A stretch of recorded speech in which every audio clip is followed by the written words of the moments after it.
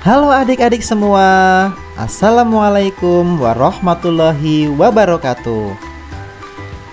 Sebelum pembelajaran kita mulai, marilah kita berdoa terlebih dahulu. Berdoa mulai. Berdoa selesai. Bagaimana kabar kalian hari ini?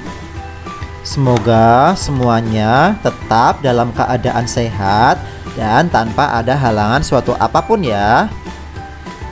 Jangan lupa tetap patuhi protokol kesehatan, menjaga jarak, memakai masker, dan mencuci tangan dengan sabun. Agar kita terhindar dari paparan virus corona. Pada hari ini kita masih akan belajar di tema 1 yaitu membangun indahnya kebersamaan. Dan subtema 1 keberagaman budaya bangsaku.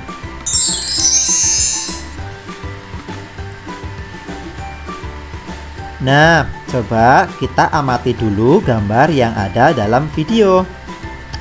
Ada gambar apa ya dalam video itu?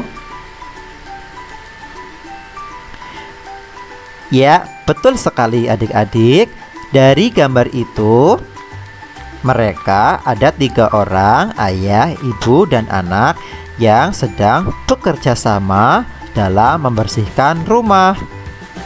Ada adik yang sedang menyapu, ayah yang sedang membersihkan debu dengan penyedot debu, dan ibu sedang mengelap meja. Jadi, mereka sedang bekerja sama, loh. Apakah kalian pernah melakukan hal yang serupa dengan gambar? Ya, kegiatan itu bisa kalian lakukan di rumah. Contohnya, kalian membantu ibu mencuci piring ketika ibu sedang memasak. Itu adalah contoh kerjasama di rumah. Coba kita baca dulu bacaan yang ada di atas ya. Di dalam rumah terdapat anggota keluarga yang harus saling membantu ayah, ibu, anak, dan anggota keluarga lain harus bekerja sama untuk mewujudkan rumah yang bersih dan nyaman. Apa saja pekerjaan di rumahmu? Sangat banyak bukan? Untuk menciptakan rumah yang bersih dan nyaman, perlu ada kerjasama antar anggota keluarga. Dengan bekerja sama, pekerjaan jadi cepat selesai. Nah, adik-adik, kalau kita kerjasama dalam rumah di rumah, maka pekerjaan yang kita laksanakan akan cepat selesai, dan juga pekerjaan akan menjadi ringan. Ya, karena kita kerjakan secara bersama-sama. Coba bayangkan kalau semua pekerjaan rumah dikerjakan oleh kita, maka kita akan sangat capek sekali dan tentu membutuhkan waktu yang lama. Tetapi kalau pekerjaan rumah kita bagi dengan bekerja sama, maka pekerjaan itu pasti akan cepat selesai dan menghemat tenaga atau terasa lebih ringan.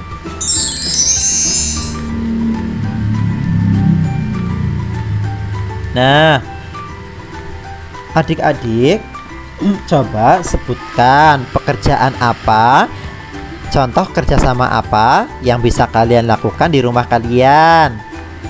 Tentu ada banyak kan? Coba kalian sebutkan tiga saja contoh kerjasama yang ada di rumah. Kemudian tuliskan di buku tulismu ya. Selanjutnya kita akan membahas tentang kerjasama yang ada di lingkungan sekolah.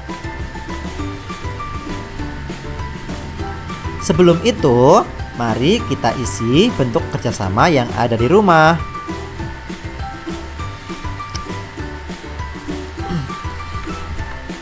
Sekarang, di depan kalian ada bentuk kerjasama yang ada di sekolah. Maaf ya, itu tulisannya terbalik. Seharusnya di sekolah, bukan di rumah. Yang pertama, bekerja sama dengan teman-teman membersihkan ruang kelas. Itu adalah contoh kerjasama di sekolah. Kemudian kira-kira apa lagi ya? Contohnya bersama dengan teman berdiskusi saat mengerjakan tugas. Nah, itu contoh kerjasama yang ada di lingkungan sekolah. Masih ada banyak lagi, bukan?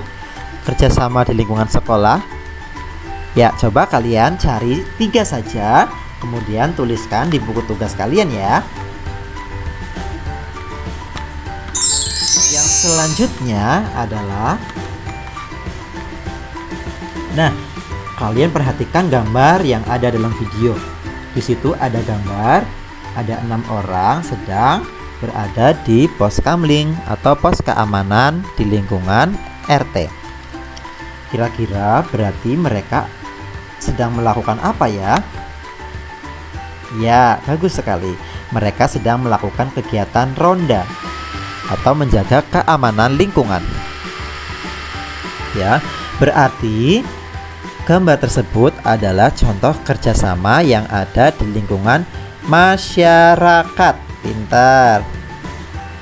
Contohnya ini yang pertama adalah melakukan kegiatan siskamling atau sistem keamanan lingkungan.